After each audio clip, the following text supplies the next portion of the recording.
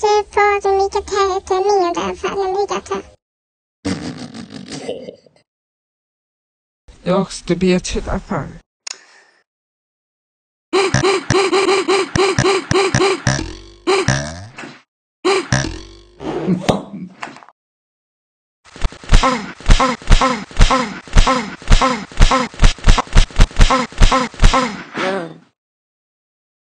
Jag ska bygga. Hmm.